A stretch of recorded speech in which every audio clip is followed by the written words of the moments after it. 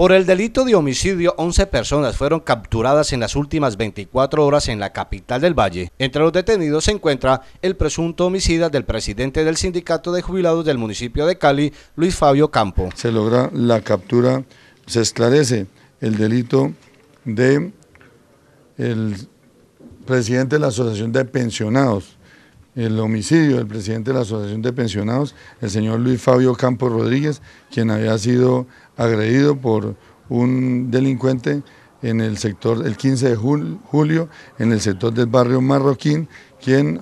lo había agredido con arma de fuego por hurtarle un dinero. La Policía Metropolitana, la Policía Nacional, sintonizada con este ejercicio, llegó hasta el barrio Bonilla Aragón y captura a este em, individuo que entre otras tiene una casa por cárcel porque había sufrido, después de haber cometido el hecho contra el pensionado,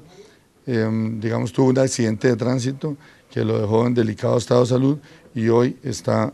recuperándose de sus lesiones, pero está tras la reja. Durante los operativos fueron capturadas 10 personas más, las cuales eran solicitadas por la justicia colombiana. Se dieron 11,